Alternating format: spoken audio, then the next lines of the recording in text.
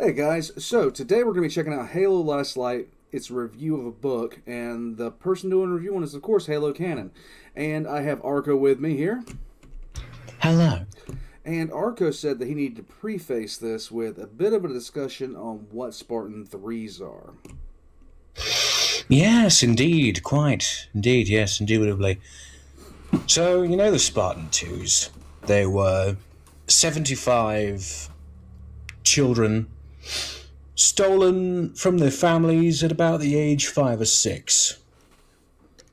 They were given the best training and diet and exercise routine possible up until 14, where they were then augmented with very experimental, very dangerous surgical and chemical enhancements. And they were made initially for the purpose of stomping the insurrection. When the Human Covenant War began, of course, the Spartan 2s were instead used against that threat. There was a colonel on the UNSC Security Council named James Ackerson, right? He knew all about the Spartan 2s, and while he abhorred the many ethical problems with them, he did see the need for them. But he recognized that putting all of humanity's future and hopes on the shoulders of only barely 75 people simply wasn't going to work in the long run, so he figured that we needed more Spartans. But humanity didn't have the time or resources to spare Right. to make yet more Spartan 2s. So he decided instead of pouring everything into some six year olds, let's go for quantity over quality. So what he did was he had Oni uh, organize the let's call it abduction of a particular Spartan 2 whose psych profile would seem to be best for the job. And they did this by orchestrating some bogus mission for Blue Team, and it was. Eh, anyway, they separated him from the rest of the Spartan 2s and had him registered as missing in action. And the Spartan 2 they kidnapped was a guy named Kurt051. And essentially, they got him and the guy who was the drill sergeant for the original Spartan 2s, a guy named Franklin Mendez. They put those two guys together and had them train a new generation of Spartans. However, these Spartans wouldn't be kids kidnapped from their families. No, these instead would be snatched up from the population of orphans left behind by the war. Oh, okay. And so, in batches of about 400 each, they would take all these orphans and give them a choice work for us, become a Spartan, and take revenge on the Covenant, or you can go away. And these orphans were trained, honestly, probably better than the Spartan 2s were, if only because they had a Spartan training them who has a lot of had a lot of experience. And what happened was there were three full companies of Spartan 3s created Right. each numbering at 300. Alpha, Beta, and Gamma.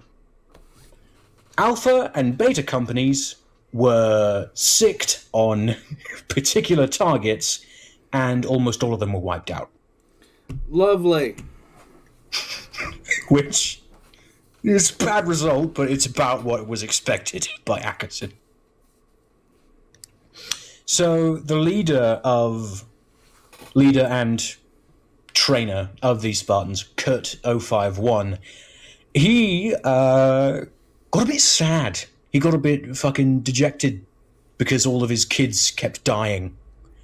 And so when the third company, Gamma, was going through their augmentations, he secretly added an extra one, which he felt would uh, Hmm, give them a better, a better chance of survival.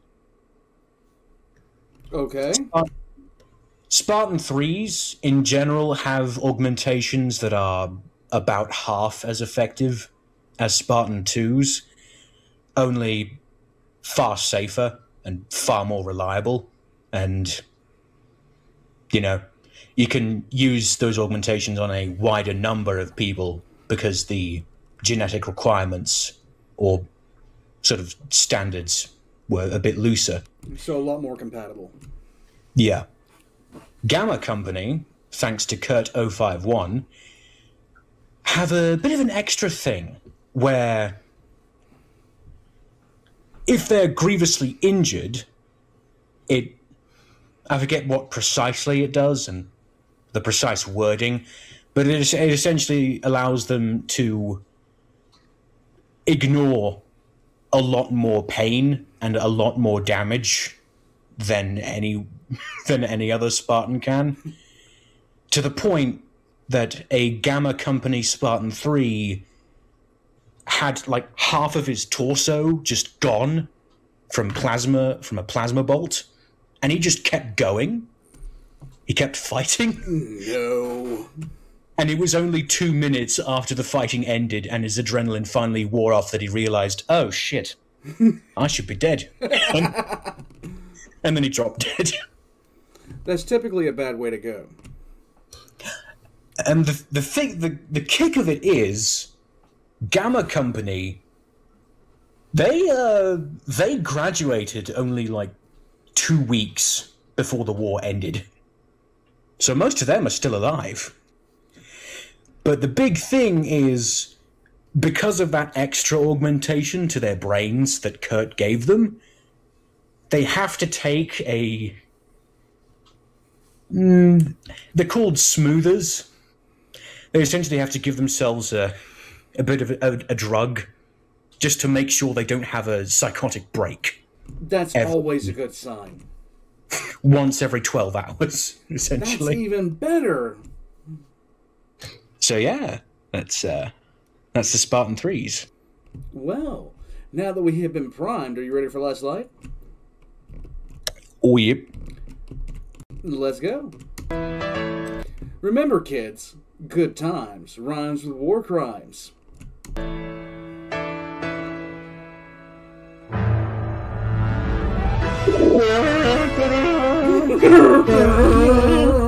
Hey there, Canonites, welcome back. It's been far too long, but here we are. I'll make new excuses, simply apologize for my laziness in getting this done. That said, let's begin. Last Light is a murder mystery set in the Halo universe that does a great job of exploring the complex relationship between the UNSC slash Earth and the colonies that survived the Covenant onslaught. Hmm. Best of all, to me at least, it finally addresses the fate of the Spartan 3s, specifically those of Gamma Company. In mid 2014, a being known as Catalog was roaming around the Halo Waypoint forums, answering questions posted by fans. At one point, a fan decided to ask about the status of known surviving Spartan 3s. The answer wasn't exactly what fans were expecting. Ash, Olivia, and Mark dead? Killed in a forum post? Well, you can imagine that people weren't exactly happy.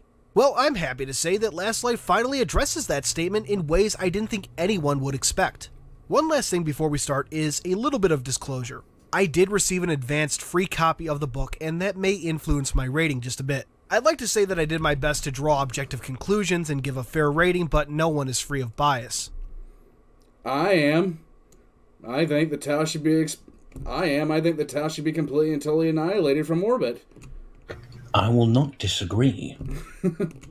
So, with that out of the way, let's begin. Everything after this is spoiler territory, so heads up. If you want to skip to the spoiler free wrap up, click the annotation on the screen or check the description box for the time to skip to. For everyone else, this is Halo Last Light. Our story technically starts on April 14th, 2553, with the destruction of Forerunner artifacts on Shaps 3. This may ring a bell I hear that, and I, all I hear is the South Park s'more schnapps. I don't know why. For some of you, I and there's good reason for that. This event was originally described in Mortal Dictata when Sev Fal was demonstrating Pious Inquisitor's glassing beam to Stefan Senske. This destruction sent a signal to a Forerunner installation on Gao, once known as Edode or Jakrula Support Base 4267, waking the site's local Ancilla, Intrepid Eye. She, yes, she, attempted to investigate the signal, eventually attempting to launch a recon probe to SHAPS 3, aka Watu Thracis, or Jatkrula Installation 444 447. The launch caused a massive cave in, damaging Intrepid Eye's installation. Following that, people who went into the cave suddenly emerged with lifelong ailments or scars suddenly healed. What is Intrepid Eye? Is it like Guilty Spark? Yeah, Forerunner Ancilla. Ah, okay. Intrepid Eye's signal also attracted the attention of the UNSC, as anything Forerunner does. True. Upon arriving, the UNSC asked permission to land their 717th Xenomaterials Exploration Battalion. Much to the contention of some citizens and political officials, Gao President Aponte allowed it, and so the UNSC began their search for the Ancilla. The book itself starts at 0832 hours on July 2nd, 2553, in the Montero Cave System on planet Gao, where bodies have been turning up, murdered in brutal manners. So, God, we have a lot to talk about right off the bat. First, Intrepid Eye, the first monitor with a female personality and one who belongs to a new class of Ancilla known as Archeon class. In addition, she is in charge of something known as a Jatkula support base. Now, Jatkula may be better known as the Maginot Sphere, a protective boundary originally used during the early days of the Forerunner Ecumene and brought back during the Forerunner Flood War. Of course, up until now, we only knew of line installations designed to take down ships that passed within their range. A support base is something new. We also have SHAPS 3, known as Installation 444-447. It's unclear whether that means that SHAPS 3 was a line installation, but the name format would seem to support such a notion. Although the fact that SHAPS 3 never brought down any ships would question its status as a line installation, unless it's a broken down or malfunctioning line installation. Next up is the 717th Battalion. Given the name Xenomaterials Exploitation, I have to wonder if they're part of Oni Reap X, aka the Reverse Engineering and Prototyping Xenoarchaeology Department. It's certainly possible. And finally, the dates. Oh my god, the dates. Dates and hours are finally back. Not since Ghosts of Onyx have we been given precise times and dates for events, and it's certainly welcome back. I'll say it right now, this small edition really brought me back to the early days of Halo fiction, and in addition to other reasons, really made me feel like I was reading an Eric Nylund book again. Feel like. Troy Denning definitely has his own style that stands out, but there are many elements that remind me of those early novels. Anyway, back to the book. Hmm. In light of the aforementioned murders, the Gao Ministry of Protection has assigned their top investigator, Veda Lopez, to investigate. At the same time, the UNSC has assigned Major Halal to assist. Spartan Team Blue, comprised of Fred 104, Linda 058, Kelly 087, Tom Ah, Yay, we have Spartan Fred again. What do you mean, Matt? It's Fred. Yeah, it's Fred. Fred, man. B292, Lucy B091, Ash G099, Olivia G291, I want Spartan Yef. and Mark G313 have also been ordered to tag along, helping wherever available and providing security, at least officially. And I'll just get it out of the way that is Olivia on the cover. Given the brutality of the murders, the first suspects for both the UNSC and Lopez would be the Spartan 2s. Given how little is known about them, both to the majority of the UNSC and to the Gao government, and given what Spartans are known to be able to do, it makes sense to put them at the top of the suspect list. As Lopez and her team are investigating a crime scene, Fred is informed of the discovery of another body and called aside by Major Halal and the smart AI Wendell. Well, a fragment of Wendell, much like BB did in many occasions in Kilo 5. Okay. Wendell informs him that Major Halal and the private who discovered the body are going ahead to investigate the crime scene, but requests that Fred not inform Lopez as he wants to ensure the Gao Ministry of Protection, GMOP, isn't going to try and turn the case against the UNSC without evidence. Fred acknowledges, though he's clearly not happy about keeping secrets from the investigator. He doesn't outright say so, but the sarcasm in his voice makes it pretty clear. As Fred returns to the crime scene, he makes up a lie about where Halal is heading off to, in this case, taking a piss. This rouses suspicion from Lopez, but Fred responds with a light joke about the UNSC having protocols for everything. With her team investigating, Lopez prepares to head to the surface with a body that had been discovered while Fred escorts her.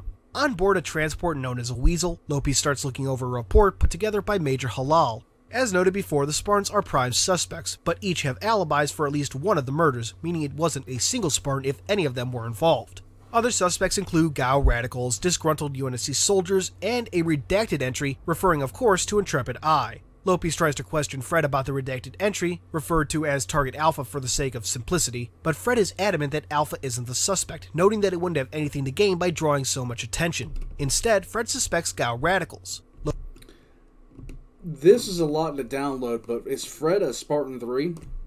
He's a Spartan 2. Oh, he's a Spartan 2. Okay. You Hope can he starts with- tell. You can tell it's a Spartan three if they have a letter at the beginning of their number designation. Oh, okay. All right, all right. Just had to get that clear in my own head.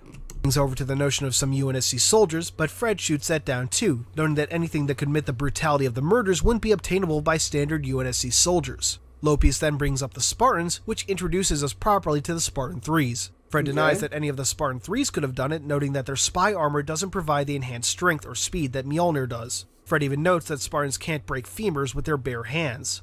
Now, I don't know about you, but I found this pretty strange. Yeah, I'm finding that strange myself. Technically speaking, it can take as little as 20 psi to break bones, including a femur. I think a Spartan with enhanced strength could probably find a way to break a femur. Hell, a regular human can do it under the right conditions. Of course, Fred could be lying to protect his Spartans. Anyway, Fred and Lopez soon reach the surface, then head over to meet up with Battalion Commander Murtag Nelson. We briefly jump over to Halal accompanied by his private, Hayes. Encountering Intrepid Eye, Hayes gets electrocuted and Halal loses an arm before getting finished off. Intrepid Eye has a brief conversation with Wendell, learning about why the humans are present on Gao, then erases his memory of their conversation and implants a small part of herself in his programming. During this section, we also meet with something that was hinted at back in Hunter's That was a lot in a very short amount of time. Yeah. It's like I was just sitting there wa- like, what? He, and now that what happened? in the Dark, a life worker Huragok, one that specializes in fixing Ah, yes, flying scrotum monster. In the biological rather than the mechanical. These particular Huragok have a green hue to them rather than the standard blue of engineers, and as we learn later, only builder Huragok are referred to as engineers. It'd be interesting to find out if there's a particular term for life worker Huragok, though none comes up in this book. Moving forward, Fred, Lopez, and a coroner named Andrea meet up with Commander Nelson. Lopez, of course, wants to know more about what the UNSC is looking for since it might be relevant to her investigation. Fred, meanwhile, is, well, Fred, to the letter of his orders. Over the course of conversation, Nelson reveals that a second body in a new crime scene had been discovered, unaware of Major Halal's desire to keep secrecy at that moment. With that revelation, the matter of what the UNSC is doing on Gao and how it may be connected to the murders starts to intensify, and Commander Nelson decides he's had enough. Pulling Fred aside, he orders the Spartan to tell Inspector Lopez about the sentinels that the battalion has been encountering, if for no other reason than to rule them out. Meanwhile, Lopez is able to look in on the conversation through a window, making out certain words by reading their lips. Among the words she picks up are on Sentinel, Forerunner, and Ancilla. When their meeting concludes, Fred and Nelson meet up with Lopez and reveal that the 717th Battalion has been having trouble with Sentinels and then prepares to escort her and her team to the new crime scene.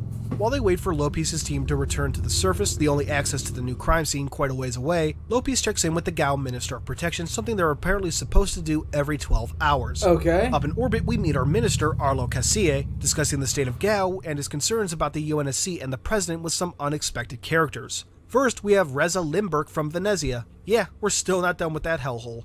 Our second guest is a Jiralhanae chieftain Okay, known as Castor, a great. Can you explain what the hell I'm looking at here? Uh, that's uh, Castor. I, I know that's Castor. What about Lindbergh? I don't remember her, but apparently she's from the Kilo 5 trilogy, which. What's the Kilo 5 trilogy? Uh, remember those. Uh, remember how I told you what happened after Halo 3 and how the whole thing with that author who did a shit job and blah, blah, blah. Yeah. Yeah, those are her books. Kilo Oh, 5. lovely. a Dokab or leader of the Keepers of the One Freedom.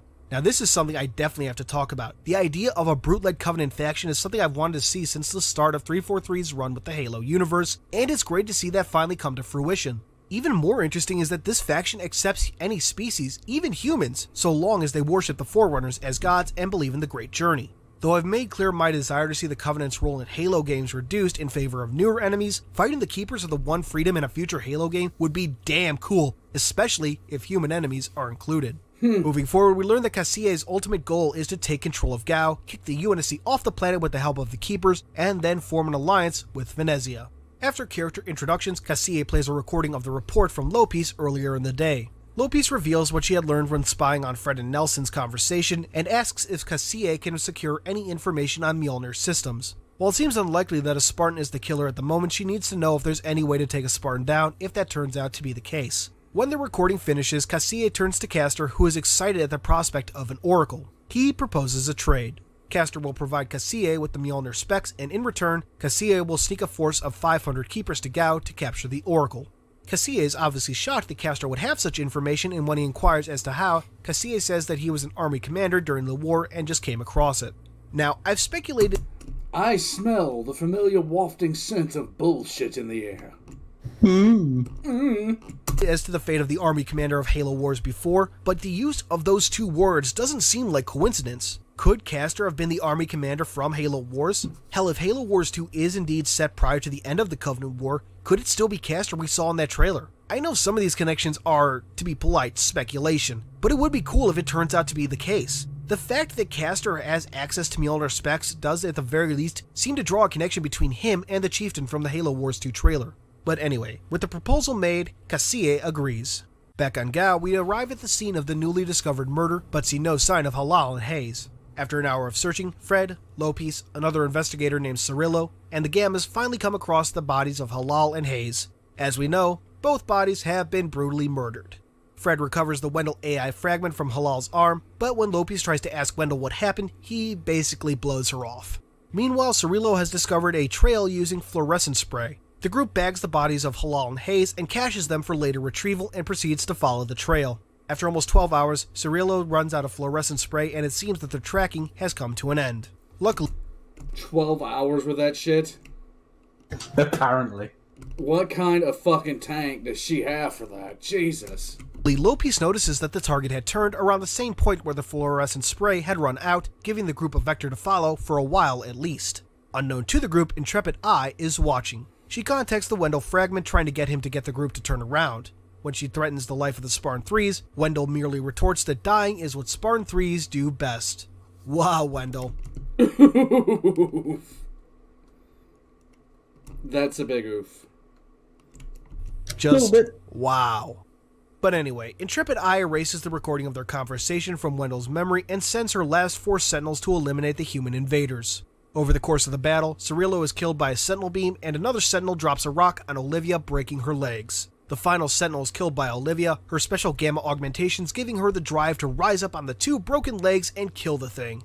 While ultimately victorious, a cave in was triggered during the encounter, cutting the group off from using the same way they arrived to get out. Fred leaves to investigate the cave in, leaving Mark, Ash, and Olivia with Lopez. During the time that Fred is gone, Lopez discovers just how young the Gammas and Spartan 3s in general are. As expected, she's fairly upset with the UNSC. She further discovers that the Gammas in particular need a special drug, colloquially called a smoother, to keep them in check. Naturally, Lopez starts to shift her suspicions to the Gammas. As time passes, she specifically suspects Mark, as he seems to degrade faster than the other two. Also, This is this is why you don't have super soldiers dependent on drugs to continue. This, Yeah. This is why you don't.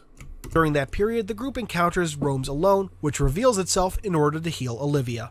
Fred, meanwhile, had come across the Jacques support The name of the thing is Roams Alone. I love I love those things' names. base, though he'd never know it just by looking. It would seem to have some sort of Forerunner disorientation system, as when Fred is finally contacted by the Gammas, he realizes he's been standing around for hours just staring. When he learns of the discovery of the Huragok, he returns to the Gamma's location and they decide to make their way to the surface. I think now's a good time to pause and talk about a minor annoyance with this book Olivia's nickname. When she was introduced in Ghosts of Onyx, she was nicknamed O because of her stealth. Whisper quiet as her vowel namesake, as the book puts it. In this novel, she's constantly called Livy. Now, I really have no issue with Fred or the other Spartan 2's Maybe her she got like consistent ones on her stealth roll and lost the nickname and the letter. Perhaps. Perhaps. calling her this, but I'd expect her fellow Spartan 3s, at the very least the Gammas, to refer to her by her original nickname. Like I said, it's a minor annoyance, but it's something I wanted to bring up. Anyway, on the surface, Castor and some of his keepers have finally landed on Gao. With the distraction provided by Cassie, Castor sends his second in command, Orsun, into the caves. That is literally the worst picture of a bird I've ever seen. It looks like a it looks like a defunct Power Ranger. It's from Halo 3. It still looks terrible the way it's like shown right now. Hmm. system to search for the Ancilla. Not long after, however, Castor spots the other Spartans of Blue Team, Kelly, Linda, Tom, and Lucy, delivering a body bag to a Pelican. Thinking that it's the Ancilla that he seeks, Castor starts a surprise attack by shooting down the Pelican. His forces then move in as a full on battle breaks out. Meanwhile, in the caves, hours have passed and the Spartan 3s are running out of smoothers. Mark is scouting ahead and his behavior is only feeding Lopi's suspicion about the Gamma. At one point, as Spartan and Ash are scouting ahead, they come across a group of keepers, all dead in Mark's hand. Back with Lopez and Olivia, the two find themselves under attack by a Jiralhanae keeper. Thankfully, Mark shows up to finish it off, and the group continues forward to the cave exit. After another 12 hours, totaling close to three days since Fred and company had left for that murder scene, they have a close up encounter with Intrepid Eye, she now hosting her consciousness in a flatworm like inspection drone. Above, the battle rages so hard that it's shaking the cave's ceiling. Fred sends Ash ahead to scout and hopefully find Mark again, while Lopez, Olivia, and the Huragok hold back. Fred, meanwhile, sneaks up on the drone, hoping to tag it with a scramble grenade, an experimental piece of Oni tech that should disable it. Unknown to Fred, Intrepid Eye is basically turning herself over so she can access UNSC interstellar communications and hopefully contact the Ecumene. Back with Lopez and Olivia, the two find themselves in the presence of Petra Zoya, one of Arlo Casside's friends. Zoya puts a shotgun to Olivia's head and tries to get Lopez to help her take the Huragok and Ancilla to Cassie. Though Lopez has no idea who Zoya is and even has her gun pointed at the woman, their mutual connection to the minister raises Olivia's suspicions about the inspector. When Fred manages to tag Intrepid Eye with the scramble grenade, the resulting blinding light allows Olivia to disarm and kill Zoya and disarm Lopez. When Fred returns, he makes Olivia drop any idea of interrogating Lopez, the battle on the surface and the recent capture of the Ancilla taking priority. When they finally emerge from the caves near Wendosa Hotel, the group finds themselves in a virtual war zone. After finding out where the rest of Blue Team are, Fred and company try to regroup, but on the way, Roams Alone removes the scramble grenade, freeing Intrepid Eye. The Ancilla makes Dick move, dick thing. Thanks for Wendosa, where she Engineers are like children, man. You, you can't really. They don't, they don't really, uh, they don't really have it all together up there. cuts off all communications. UNSC, Gao, and Keepers. Everyone is now in the dark. Fred, Olivia, Ash, and Lopez soon catch up with the Ancilla and Huragok and manage to capture both with little trouble. Soon, however, they come across Mark with his knife to a sergeant's throat. Thankfully, Fred is able to talk him down. The sergeant informs Fred that Commander Nelson wants him and the Ancilla evacuated and that a Falcon is en route. As they make their way to the landing zone, the group is attacked by Jiralhanae Keepers. However, the rest of Blue Team, Kelly, Linda, Tom, and Lucy, show up and together they're able to take out their attackers. When the hmm. Falcon finally shows up, Fred, the Ancilla, and members of Lopez's team are evacuated. However, the Falcon doesn't make it very far before it's shot down by other Keepers. When Blue Team and Lopez discover this, they head out to search for any survivors. Above the planet, Minister Cassie is on board the Esmeralda, one of 20 corvettes that make up Gao's protection fleet, keeping an eye on a local UNSC fleet that had arrived to reinforce their forces. Denied permission to land, Cassia has been authorized to attack if they attempt to do so. When the fleet finally does attempt to sneak some landing craft to the surface, Cassia is quick to shoot them down, not worrying about retaliation as he knows the UNSC won't risk another insurrection on Gao. Tell me, like, is this a common thing with human colony worlds doing this, or was the insurrection like a flash in the pan kind of thing? What led to it? Ah, the insurrection. Well, it's the same old shit as every other thing in human history. The inner colonies were very wealthy and densely populated, and they needed resources from the outer colonies. Ah, okay. The outer colonies outnumbered the inner colonies four to one, but were very fairly sparsely populated, and many of the outer colonies were specifically colonized for a specific purpose, like farming or mining or anything else. So basically, this is just a situation where the the core worlds made too many demands, and the insurgency rose because of that. A little bit, yeah. It's also um, essentially, uh, yeah. The inner colonies depended on the outer colonies, but at the same time feared them. The outer colonies were full of people who just hated over centralized power and bureaucrats. So Works. Further, Casilla makes known his plans to overthrow President Aponte with the help of other ministers. Planetside, Lopez and Blue Team are making their way to Fred's crash site. Unfortunately, they run into a pack of Jiralhanae led by Castor and now in possession of the Ancilla. While Blue Team takes care of the majority of brute forces, Lopez is able to make her way up towards the wreckage where she runs into Castor himself, the Dokab having pulled out the locked up armor of Fred. Lopez, thinking Fred to be dead and furious at the death of her friends who had been on board, shoots at the chieftain's knee and shoots at one of his hands, causing Castor to drop the Spartan. The impact causes a mini rock slide as Fred begins sliding down the hill. With the hill soon under beam rifle fire and Fred flying towards her, Lopez jumps on the Mjolnir armor and literally rides him down to the bottom of the hill.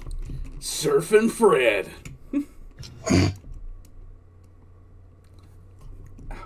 As they reach the bottom, the battalion's Alpha Company arrives to aid in the fight. Lopez more or less passes out and awakens in the Vitality Center, the location where Fred and Lopez's friends were originally being evacuated to. Not long after waking up, she meets with Commander Nelson and the two strike a deal. In return for keeping her mouth shut about the secrets of the Montero cave system and pinning the murders on the Jiralhanae, Lopez would be able to take scrapings from the SPI armors, Fred's Mjolnir, and the Ancilla to satisfy her personal curiosity about who committed the murders. Inside a portable Spartan support module, Intrepid Eye wakes up. Intent on escaping, she stops the communications jamming to provide a distraction. Before she can leave, however, she's contacted by Wendell. To gain her cooperation, Wendell promises to help Intrepid Eye contact the Forerunners and access any information humans have on them. Meanwhile, Lopez arrives to begin her scrapings. As Intrepid Eye continues to scan Wendell's records, basically summing up all we know of the Forerunner War with the Flood, the activation of the Array, their exile, and the major events of the Bungie Halo games and human interaction with Forerunner technology, it seems like the Ancilla is ready to accept the truth. But then, she throws Wendell for a loop.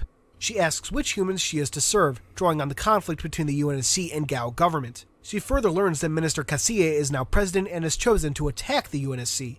Disappointed at this divide and the violent nature of humanity, Intrepid Eye decides that none of them are worthy of the mantle. She destroys Wendell just as he's able to warn of the imminent Gao threat and attacks a local marine that had been in the module with Lopez and Commander Nelson. I don't like the Ancil- the Ancillas just annoy me.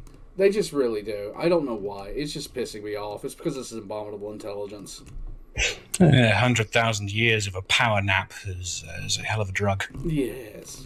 I will say, this is one instance where having this review delayed so long is something of a blessing, as we can see here an early instance of a Forerunner AI define the wishes of her creators, not entirely unlike what the Warden did in Halo 5. Anyway, Intrepid Eye takes control of the module and begins killing the humans inside. Hmm. Nelson and Lopez try to escape, but as they make for an airlock, the hatch slams down on Nelson, killing him and trapping Lopez inside. Luckily, she is just barely saved by Fred, Ash, and Olivia, the rest of Blue Team having been out on a patrol and still making their way back. Of course, just as they save the Inspector, Intrepid Eye attacks. Thankfully, her drone is badly damaged already and goes down fairly quickly. The Spartans tag it with another scrambler just in case, then suit up. They recover Wendell's data chip, now secretly housing Intrepid Eye, and take a Havoc nuke in order to destroy the Forerunner ruins on Gao, making sure now President Casilla won't get his hands on them. As the group moves towards the Forerunner site in a Warthog, they are pursued by Wyvern aircraft. In hmm. order to take them out, the group splits up. Lopez takes the Huragok and drone to hide, Ash and Olivia jumping out to protect her, and Fred keeps going, drawing the Wyverns towards him. Two of the Wyverns are quickly taken care of, along with any Gao militia they drop. Once regrouped, Veta explains that she believes Intrepid Eye is the murderer and that it had devoured Wendell, now inhabiting his data chip. Now, interestingly, during the scene, Fred doesn't speak to Lopez over comms. She, So they can do that. They can they can inhabit what would be to them primitive technology. It would seem so, yeah. Yay. she, fearing that the Ancilla might be listening in, but instead has Fred open his visor to talk more or less face to face. Now, this notion of opening the visor appears in a few other earlier sections, but I thought I would talk about it now. It's not canon breaking or anything, but it's certainly a new concept in the fiction that, to me, just doesn't sit well. The idea that the visor can open, whatever that means, seems like it would be a major weakness in the suit design. And honestly, I have trouble imagining it. Does it slip up into the top of the helmet, or is it flip open, or what? It's a weird addition that was really only added so that Fred would have a reason to keep his helmet on at all times. I might be spending too much time worrying about this, but, well, there you go. Anyway, upon Lopez revealing all this, Intrepid Eye takes control of Fred's suit and tries to kill Lopez. Now you see why Fred couldn't take his helmet off, narratively speaking. Luckily, Lopez had placed a small explosive on the armor in a key area when she was taking her scrapings. She had feared that Fred might try to interfere if she ended up arresting Mark, and though not for the same reasons, it seems her worry was at least somewhat justified. On a side note, She seriously put a mine on him, and he didn't know. Don't ask me what kind, what the hell kind of private investigator carries that shit. This is going off the rails fast.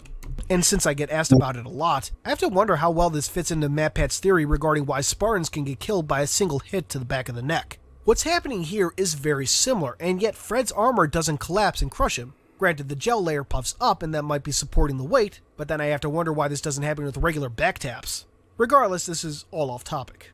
So, as the group works to get Fred out of his armor and remove the data chip holding Intrepid Eye, they are attacked by more Gao soldiers. Luckily, the rest of Blue Team finally shows up and saves them. After extracting Fred from his armor and securing the data chip, the Havoc is primed for 10 minutes and the group heads to the extraction zone. Along the way, Lopez is contacted by President Cassie, he hoping that she'll give away her position. She's too smart though, and now realizing just what kind of man Cassie is, is able to lead the Wyverns away from their position. During all this, Intrepid Eye resigns herself to her fate, though decides that eventually the humans will slip up and present an opportunity for her to escape. When she does escape, she'll follow up on a strange signal she received from the Epoloch system, the system containing Requiem and the Didact. Now I have to wonder if we might see Intrepid Eye in future media, even games. Of course, we're still Why don't they just like pass her underneath a fucking magnet or something? it's like that's my solution to this problem. Just pass it underneath a fucking magnet and call it good. I don't know that a simple magnet would kill a Forerunner Ancilla. I don't give a shit. I will try anything. still waiting to hear back from Guilty Spark slash Chakas, so perhaps I shouldn't get my hopes up. Anyway, with nothing patrolling the local skies, the group is able to move towards the Well of Echoes, where they can drop the nuke right into the Forerunner installation. Near the well, they dump the Warthog Fred setting his now useless armor to detonate. It isn't long before they finally arrive at the well, 60 seconds left on the Havoc, where they're finally extracted by an OWL insertion craft. On board, Lopez is greeted by Admiral Serin Osman, while Mark drops the nuke into the well. The owl escapes and the nuke destroys the Forerunner site. Yay. Not long after, on the surface, President Cassie and his rival, Minister of War Gaspar Baez, observe the former Forerunner site. Cassie elects to hide the truth about the Forerunner artifacts and Veta Lopez's betrayal, instead intending to report that the inspector had died in the attacks on the Vitality Center and claiming that the Spartans were responsible for the murders. In order to keep soldiers who knew the truth quiet, Cassie offers to keep Baez in his current position, to which the minister agrees. On board the Owl, called Silent Claw, Osman and Lopez have a chat. Osman finds herself impressed with the inspector's abilities and wants her to join Oni. She further reveals that the Spartans of Gamma Company present a bit of a problem, considering their unique augmentations. I'm not that impressed with her. She seems doggedly like committed just to uh, utterly stupid line of thinking. It's like I'm going to investigate these murders. There's brutes on the planet. I'm investigating a murder. There's there's a forerunner and ancillary on the planet. I'm investigating the murder. We blew up a forerunner station. The murder. It's like she doesn't fucking switch gears at any point. She, apparently, she's just really dedicated to her job. It's like, congratulations! I figured out who it was. It was Mr. Bills in the living room with the candlestick. It's like we're not even playing the same fucking game anymore. If word were ever to get out, it would cause a serious problem for the UNSC and the new Spartan branch. However, Team Saber has a unique opportunity. Having been declared KIA on Gao, Osman now wants Lopez to become a leader for them, acting as a ferret team. They go in and solve any problems Oni may need such a team to deal with. Oh with few other options, Lopez and the Gammas accept. The book then comes to a close on Gao, where Castor and Orsun are slowly making their way to the Keeper rendezvous point. Castor tries to get Orsun to leave him, noting that neither will make the rendezvous at their current pace, but Orsun refuses. The two soon come across Roams Alone, who heals Castor's wounds. When Orsun attempts to capture it, Castor tells him to let it go, seeing its work as a gift from the Oracle. As they make their way towards the rendezvous, What? Castor begins plotting his revenge on Cassie. And that concludes Halo Last Light. Damn, what a book! The murder mystery, the keepers of the one freedom, the politics, there's so much to love in this book. There's so much to love in this book, but at the same time, a book a book review like this, I mean, he summed up that entire book in 25 minutes, and there's so much just left out that just makes me like head slamming door irritated. Fred and the Gammas are wonderfully characterized, and while it's said that Blue Team and the Betas don't get as much screen time, their personalities too are well captured. Troy Denning has done an outstanding job with this novel, and I really hope he gets to return in the future. So, after months of consideration and deep thought, I have to give this book a 9.5 out of 10. It's so damn close to a perfect 10, but the minor annoyances do hold it back from being all that it could be. Well, thank you all for your infinite patience. By now, Shadow of Intent is out, and I'm likely reading it or writing the review, which Look at that face. Tell me about the rabbits, George. What do you mean, man? It's the shipmaster. I don't give a shit. but it's the shipmaster. It's cool. I know he is, but look at his eyes. This is totally tell me about the rabbits, George. Now Shadow of Intent is out, and I'm likely reading it or writing the review, which will not come out three months later, by the way. Thanks for watching, and until next time, this has been Halo Canon. Hey guys, thanks for watching. There we go. So, your thoughts, Archo? Yeah, it's a real big fucking shame that Troy Denning's work just goes downhill from here. What else did he do that is like a disappointment? Well, uh, he did Retribution, which was just more of which it was essentially just this again, but even more. Just, this story and Retribution are kind of just meh, but you know it fills out the time and it does introduce you to Fred, which was why I wanted to do this. Okay. And then Denning wrote Silent Storm and Oblivion, both of which are incredibly irrelevant and do things which irritate me. But that's a different topic.